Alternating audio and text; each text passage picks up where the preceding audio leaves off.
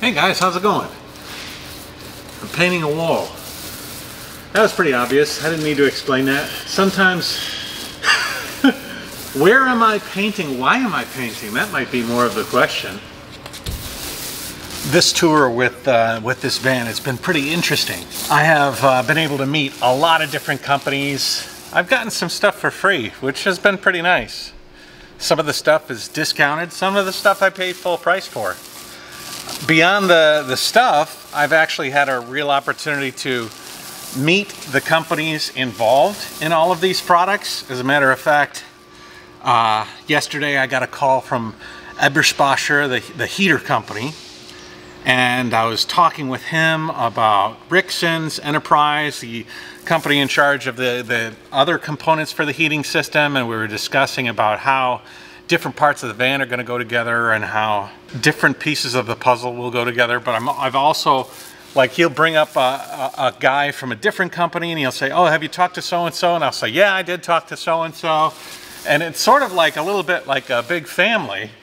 Even competitors in this field do sort of get along as as well as you know as well as you're expected to but one of the companies that I've really enjoyed uh, spending time with is just roaming design here in well, it was in Washougal, Washington, but now we're in Portland, Oregon.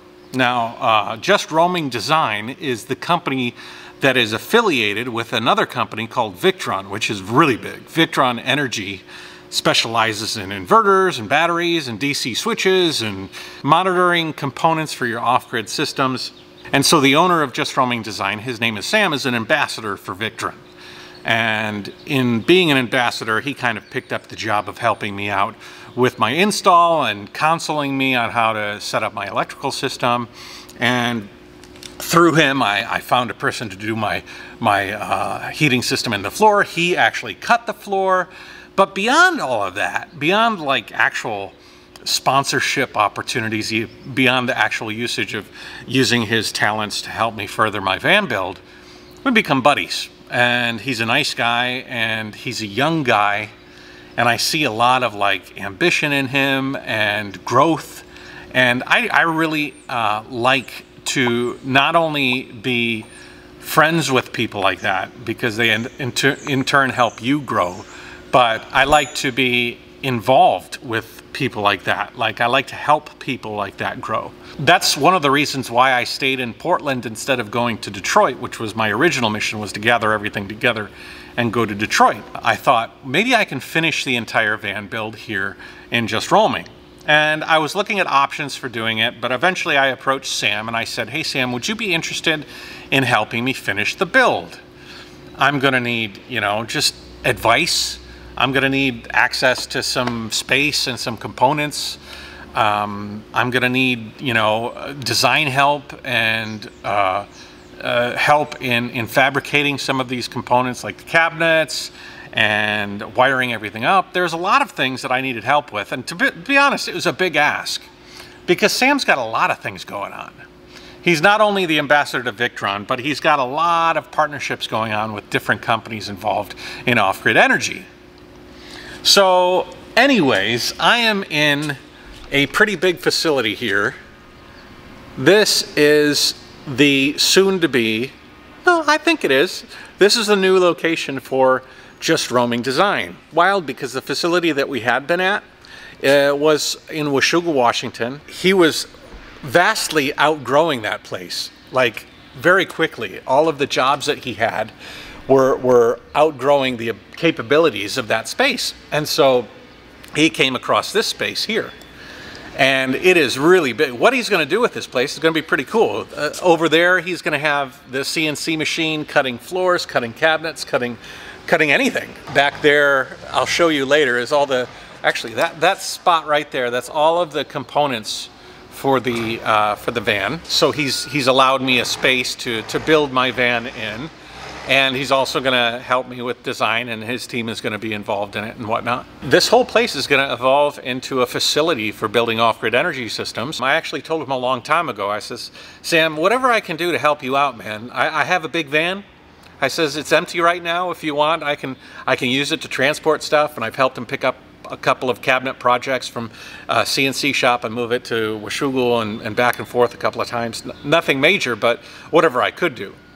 So when I asked him if he could help me to finish the van, which is a pretty big job, I mean, there's still a lot left to do in that van, he said, um, sure, would you be willing to help me uh, get the shop into ship shape? And so uh, I am here with a roller. Uh, he's sort of given me the ability to work here and I'm, I'm painting the shop, putting a coat of white paint on the walls.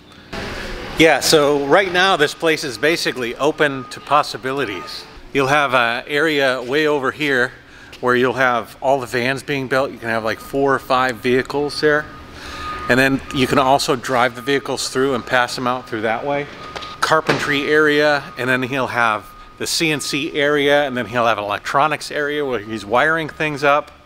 Not to mention, one of the most important things when you own a facility like this, he'll have a lot of racking, and so you'll have all sorts of racks and stuff. As a matter of fact, last night until like 10 or 11 o'clock, I went ahead and uh, sheared off a whole bunch of threaded bolts that were uh, protruding from the from the floor because previously he, this place had racks all over the place and they were bolted to the ground. And so all the the bolts were sticking out of the ground. So a lot of sparks were flying yesterday uh, I mean a lot I mean I was pulling pulling them all up but this here this wall this is all my stuff so we've got the adventure wagon kit. Then we've got my awning here from Dometic, uh, which is an automatic awning with lights on it, LED lights, a Dometic refrigerator. We've got the Zamp solar panels over the wheel well water tank, my gray water tank, cruising comfort air conditioning system, samples of different sorts of materials for the uh, roof of the deck of the deck of the van. We got materials from Perfect Fit. Then we've got the heating uh, air heating system and the hydronic heating system components, my sink, my fans. Down below we've got my batteries and stuff. Pretty much everything is, is right here, which is pretty neat. Once all of this wall becomes empty, the van will be finished. As a matter of fact, you know what I'm gonna do? I'm gonna bring the van in here and you can you can get an idea of just how um, just how big this place is.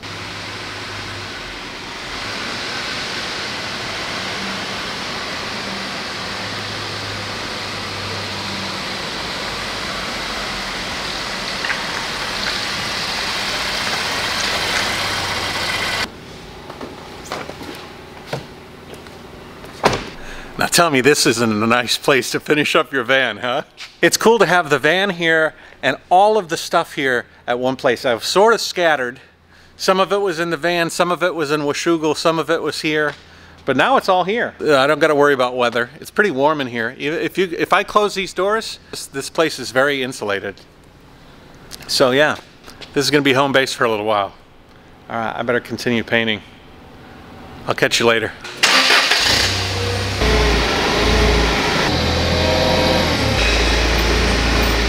Never driven a high-low before. It's kind of cool. it's a lot of power.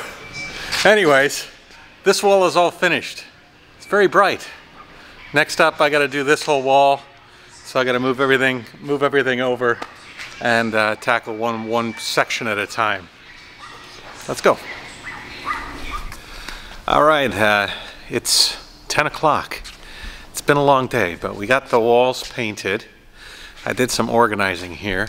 Tomorrow I'll come back here and there'll be a couple more people here working. I'll be here for quite some time, so you'll you'll get to know this place pretty well. It'll it'll go through a lot of changes as uh, just roaming design start, starts to develop and uh, the infrastructure of this place starts to take shape. Anyways, we'll talk to you later, JaYoe. Uh, on another note, Annie called me from Ningbo, and I guess they had their first COVID case, and uh, a section of the city is going to go through pretty mass testing and and so and he was and he's giving me the rundown on it.